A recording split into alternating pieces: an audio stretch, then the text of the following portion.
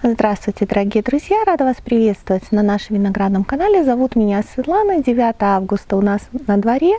И мы с вами пройдемся, посмотрим, в каком состоянии на сегодняшний день находятся технические и универсальные сорта винограда.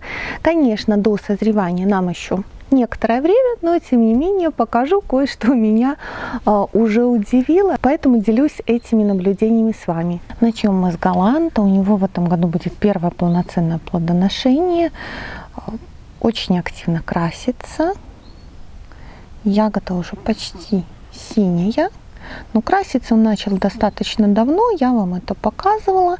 В принципе, ягода еще очень твердая. Я, конечно, ради интереса померила сахар. Но пока что ему очень рано. 14, ну, еще только первая половина августа. Конечно же, еще до созревания достаточно далеко. И вот рядом проглядывают такие пестрые гроздочки. В утреннем солнечном свете они такие розоватые.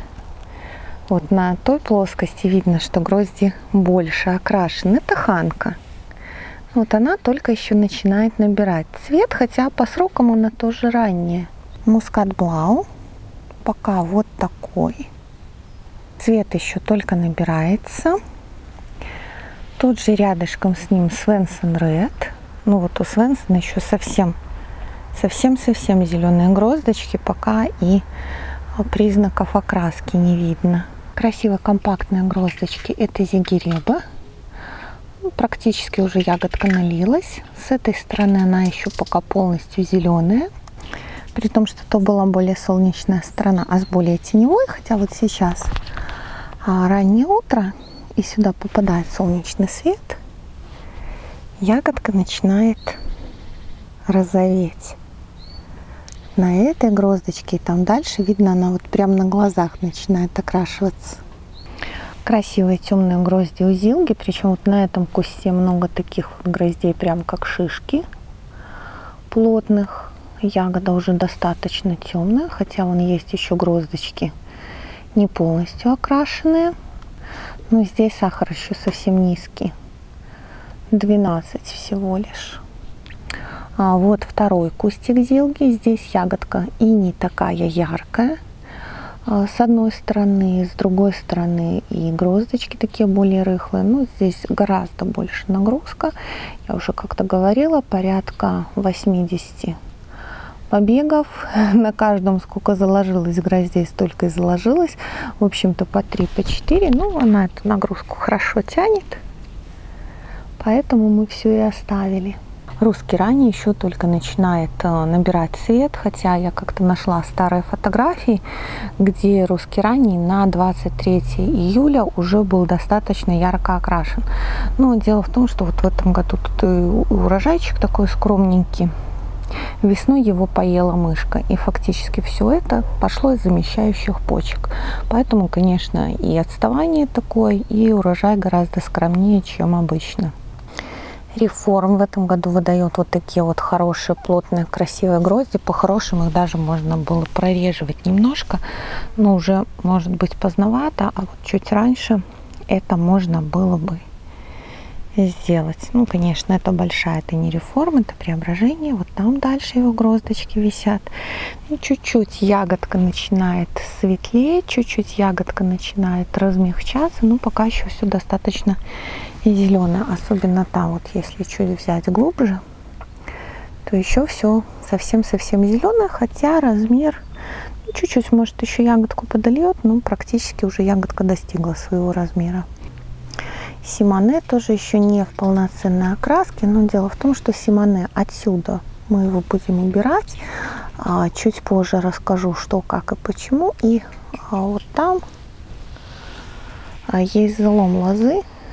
Один всего лишь рукавчик, залом, и поэтому, конечно, питание тут у него не самое лучшее, поэтому он и зреет несколько позже и выглядит скромновато, в отличие от предыдущих лет. Хотя потенциал у него очень хороший, но об этом подробнее тоже как-нибудь в другой раз. Зеленые красивые грозди здесь это ядвига галюнация, но вот ягодка белеет, пока еще окраса нет. Но вот здесь лепсна, чуть-чуть начинает набирать цвет, чуть-чуть ягодка становится такой, пока что даже можно сказать сероватый. Вот буквально чуть-чуть, ну я думаю, что пару дней и кустик загорится уже яркими красками. Сапог у нас и так всегда имеет зеленый цвет, ну пока еще ягода а, достаточно твердая. Вот это красивенькие гроздочки, это вардова. Ну, тоже пока еще совсем-совсем зеленая. А вот эти покрупнее рядышком, это слэ. Тоже зелененькие, но в этом году сама ягода в грозди, мне кажется, гораздо крупнее, чем в прошлом. Вот это паланга, ягода начинает белеть, и я думаю, что вот-вот начнет набирать окраску. Мукузани второгодочка, очень были слабые кустики в прошлом году. А, я их высаживала на уровне там, пяти листиков, но тем не менее, мало того, что хорошо выросла, а вот еще дает урожай. Я об этом, кстати, рассказывала несколько раз. Но ягодка только-только начинает краситься. А сам кустик вот отхожу подальше и показываю. Вот такой большой и сильный. На самом деле здесь два. Я не была уверена, что они выживут, поэтому посадила два в одну яму. Ну, так уже и буду их растить. Ну, а теперь на закуску самое интересное. Два сорта, которые меня не просто удивили, а очень удивили. Значит, вот это у нас туран. Вот уже такая ярко окрашенная ягода. Конечно, есть здесь гроздочка, вот только начинает краситься, все остальное уже, уже полностью окрашено. И у него я померила сахар. И сахар у него уже 16 брикс. Ну, для меня это так достаточно удивительно, потому что на самом деле время еще совсем раннее. Им еще зреть и зреть. И вот, наверное, недели две назад я вам показывала, только начал набирать окраску. Сейчас уже сахар 16. Конечно, по такому сахару комментарий я вам дам в конце. Но вообще кустик очень удивил. Сам он вот такой. Тоже достаточно большой, побеги у него хорошие, большие, мощные. Садила я его в прошлом году, но его я садила двухлеткой. Хотя саженец был маленький совсем, но тем не менее, видите, как говорится, маленький да удаленький. И, конечно, я думаю, что он вполне может претендовать не просто на ранний срок, а на очень ранний срок. Посмотрим, конечно, как будут развиваться события. Но пока удивил. И еще один сорт, который меня очень удивил, это ландонуар. Небольшие такие гроздочки, у кого-то совсем пряменькие, где-то немножко с крылышком. Ягодка, конечно, меленькая совсем, но на сегодняшний момент у ландонуар а, Понятно, что я, конечно, выбирала самые спелые ягодки в грозди, но тем не менее 18 брикс сахар. Туран меня удивил, а Ландо Нуар очень-очень удивил. Ну что, конечно, это сахар э, очень высокий вот для такого времени. А, посмотрим, что будет в динамике дальше. Но пока вот эти двое ребят, они в лидерах. Ну, тоже показываю весь кустик. Вот. Вот такой большой, мощный, красивый куст. Тоже садила я его в прошлом году, мне его прислали четырехлеткой, но это была очень микроскопическая четырехлетка, и корней там было очень мало, и он был весь в щитовке, и побег был практически высохший, там буквально с нижней, с одной или с двух почечек он пошел расти. Ну, видно, ему очень здесь понравилось, и уже он пошел расти, так пошел расти.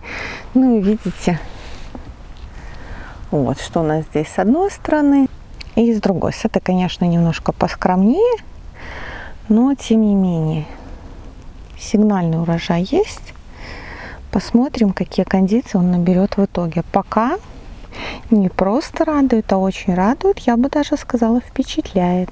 А, как видите, все находится в разном состоянии. Конечно, А, некоторые сорта очень удивили уже таким высоким содержанием сахара. А, возможно, этому поспособствовала жаркая сухая погода, которая у нас стояла длительное время. Возможно, это и сортовые особенности. А, но пока я не могу это точно утверждать, потому что Туран и Ландунуар у меня плодоносят первый год. Поэтому будем наблюдать, смотреть. Но тоже, что важно, да, у нас уже достаточно высокий сахар, но ягода еще абсолютно не готова. Нам еще нужно, чтобы она набрала фенольную зрелость. Более подробно о степенях зрелости винограда, о том, в какой стадии какой виноград снимать, мы, конечно, с вами поговорим, но чуть позже, когда это время приблизится. Но на этом я с вами прощаюсь. Большое вам спасибо за просмотр. Подписывайтесь, ставьте лайки, пишите комментарии под видео, нажав кнопку «Еще». Ссылка на каталог наших сортов винограда и мой контакт. До новых встреч!